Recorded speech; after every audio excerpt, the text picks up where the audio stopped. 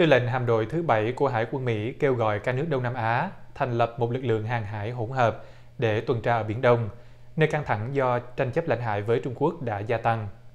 Phát biểu hôm thứ ba tại triển lãm hàng không và hàng hải quốc tế Langkawi ở Malaysia,